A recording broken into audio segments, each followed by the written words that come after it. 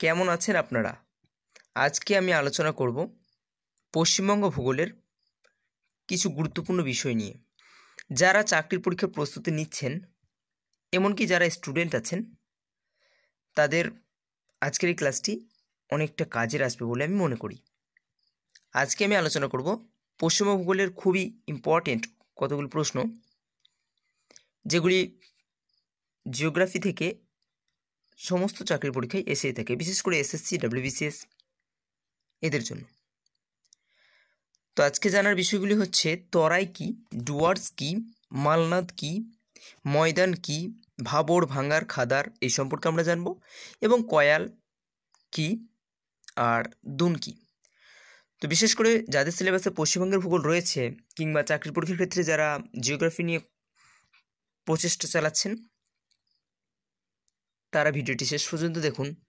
আমি আশা রাখছি সমস্ত ধরনের শর্ট কোশ্চেনের কনসেপ্ট এই পার্টটা থেকে আপনাদের ক্লিয়ার হয়ে যাবে। তো চলুন শুরু করা যাক। তার আগে আপনাদের কাছে একটা ছোট রিকোয়েস্ট যদি আমার চ্যানেলে আপনি নতুন হয়ে থাকেন, তাহলে তাহলে দয়া করে আমার এই চ্যানেলটি সাবস্ক্রাইব করে নিন। এবং সাবস্ক্রাইব করতে তো কোনো পয়সা লাগে না। বরং আপনারই, আপনি লাভবান হবেন নতুন নতুন ভিডিও আপলোড করলে। আপনি সেগুলি আগে পেয়ে যাবেন। তো চলুন তাড়াতাড়ি সাবস্ক্রাইব করে বেল আইকনটি প্রেস করে দিন। এবং আমার ভিডিওগুলি দেখে নিন, অনেকটাই উপকারে আসবে। শুরু করে আজকের ভিডিও তরাই কি ডুয়ার্স কি এ সম্পর্কে পরবর্তী পেজে চলে যাচ্ছি। এখানে লেখা আছে, কয়াল কি? মালাবার উপকূলে অসংখ্য উপহ্রদ দেখা যায়। এই সমস্ত উপহ্রদগুলিকে স্থানীয় ভাষায় কয়াল বলা হয়। মালাবার উপকূলে অসংখ্য উপহ্রদ এই যে এখানে দেখতে পাচ্ছেন আপনি। কয়াল, এই যে পার্টটি লাল কালিতে ঘেরা রয়েছে, এই অংশটুকি এই অংশটুকুকেই বলা হয় কয়াল। পরবর্তী প্রশ্ন রয়েছে ভাঙার কি? উচ্চগাঙ্গীয় সমভূমি অঞ্চলের প্রাচীন পলিসমৃদ্ধ অঞ্চল ভাঙার নামে পরিচিত। উচ্চগাঙ্গীয় সমভূমি অঞ্চলে প্রাচীন পলি সমৃদ্ধ অঞ্চল ভাঙার নামে পরিচিত। এখানে বন্যার প্রকোপ কম হয়। মনে রাখার বিষয়গুলি হচ্ছে, এখানে বন্যার প্রকোপ কম হয়। ভাঙার অঞ্চল কৃষিতে অনুপযুক্ত। পাঞ্জাবে ভাঙারকে ধায়া বলা হয়। পাঞ্জাবে ইহা ধায়া নামে পরিচিত। মনে রাখবেন কথাটি।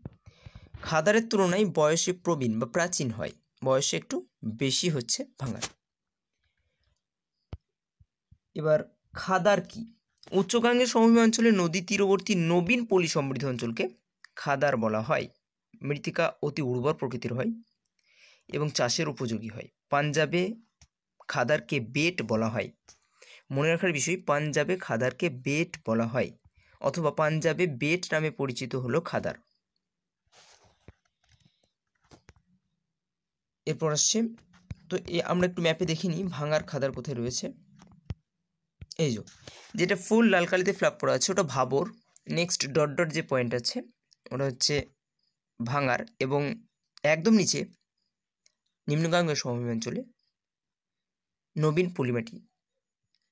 এই অংশটি হচ্ছে একদম নিচে যে পয়েন্টটি আছে লাল কালিতে মার্ক করা, ওটা হচ্ছে খাদার।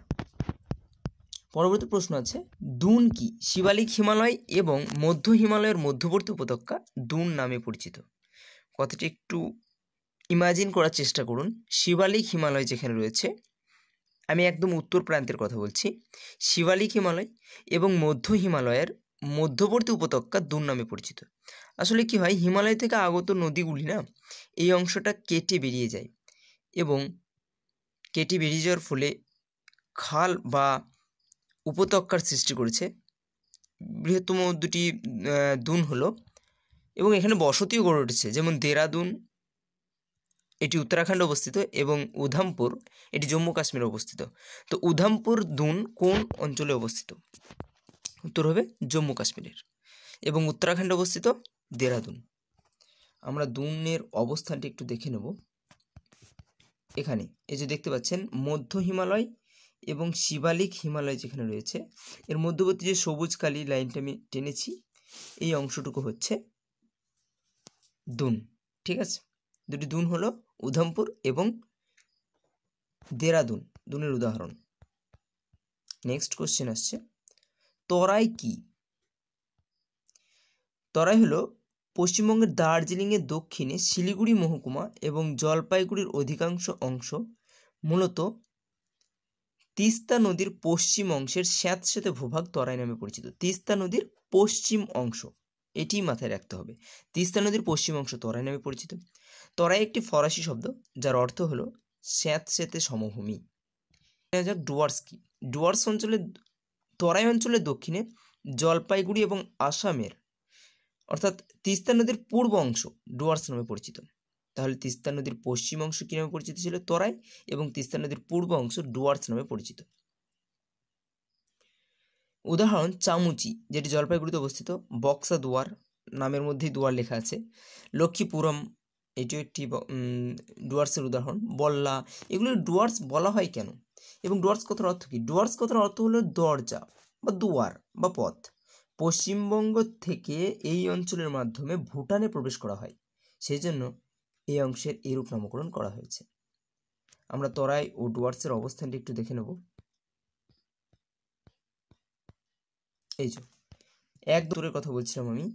একদম উত্তর প্রান্তে যে সবুজ কালিটি, ওটি হচ্ছে তিস্তা নদী। তিস্তা নদীর পশ্চিম অংশ টি আর লেখা রয়েছে যেখানে, এটা হচ্ছে তরাই এবং ডি ইউ লেখা আছে, এটি হচ্ছে ডুয়ার্স নেক্সট কোশ্চেন আমরা দেখে নেব কি রয়েছে। মালনাদ কি? কানাডা ভাষায় মালনাদ কথার অর্থ হলো উঁচু নিচু ভূভাগ। কর্ণাটক মালভূমির পশ্চিম অংশ, গ্রানাইট ও নিচ শিলা দ্বারা গঠিত, উঁচু নিচু ঢেউ খেলানো ভূভাগই হলো মালনাদ এবং কর্ণাটক মালভূমির পশ্চিম অংশ ওকে ঠিক আছে? কর্ণাটক মালভূমির পশ্চিম অংশ মালনাদ নামে পরিচিত এবং কর্ণাটক মালভূমির পূর্বে মৃদু তরঙ্গায়িত ভূমিভাগ হলো, সমপ্রায় ভূমি হলো ময়দান। মালনাদ ময়দানের অবস্থাটা, অবস্থানটা আমরা একটু দেখে নিই। এই যে এমএল যেখানে লাল কালিতে এমএল রয়েছে, এটা হচ্ছে মালনাদ এবং ময়দান, যেখানে এম ওয়াই, সবুজ কালিতে দেখতে পাচ্ছেন, এম ওয়াই রয়েছে, সেটি হচ্ছে ময়দান। পরবর্তী প্রশ্ন, ভাবর কি? তো ভাবর আমি আগেই ম্যাপে দেখিয়ে দিয়েছি। উত্তরে পার্বত্য অঞ্চলের পর্বতের পাদদেশীয় অংশ যেখানে পর্বত থেকে উৎপন্ন নদীগুলি হারিয়ে যায়, তাকে ভাবর বলা হয়। এই অঞ্চলটি বৃহৎ বৃহৎ শিলাখণ্ডের উপস্থিত দেখা যায়।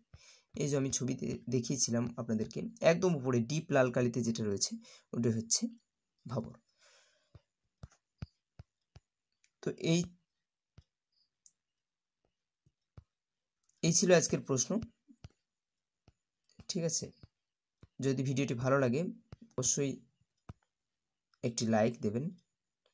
আর আমার চ্যানেলে সমস্ত ভিডিও ভিডিওগুলি দেখার জন্য দয়া করে সাবস্ক্রাইব করে নিন বিনামূল্যে এবং বেল আইকনটি প্রেস করুন। এর পরবর্তী সময়ে যত নতুন নতুন ভিডিও ছাড়ব, সবার আগে আপনিই পেয়ে যাবেন।